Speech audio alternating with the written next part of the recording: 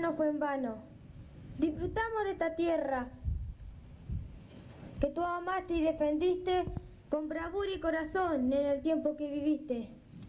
Te rendimos homenaje, sembrador de la justicia, en cada acto de cariño solidario y de coraje que nosotros desplegamos. Tu figura nos motiva, nos alienta a creer en nuestra tierra y proteger los principios de libertad y honor que defendiste con clamor.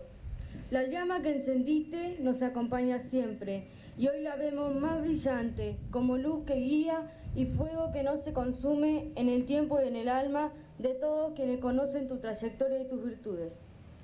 Estamos ante el bicentenario del nacimiento de Juan Pascual Pringles.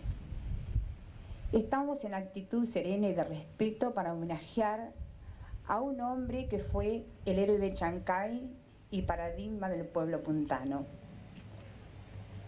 Conciliados con un solo objetivo, reconocer, revalorar y asombrarnos ante las hazañas de este verdadero héroe de la patria. Toda su trayectoria no tuvo descanso.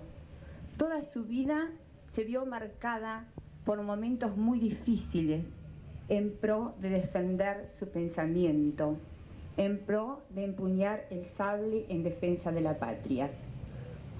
Desde 1795 hasta 1831, su vida se vio marcada por actos de arrojo, de valentía, de lealtad, como fueron, por ejemplo, sofocar la conjuración de los prisioneros junto a Juan Facundo Quiroga, protagonizar el gesto de Yancay y por último, que habla de su grandeza moral en el general de las ánimas.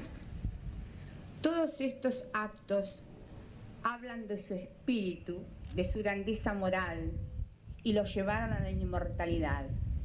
Y nos deja a nosotros, a los adultos y a esta generación de jóvenes que nos acompañan, un ejemplo, un ejemplo verdadero, donde nos indica que no debemos olvidar nuestro pasado histórico que marca el presente.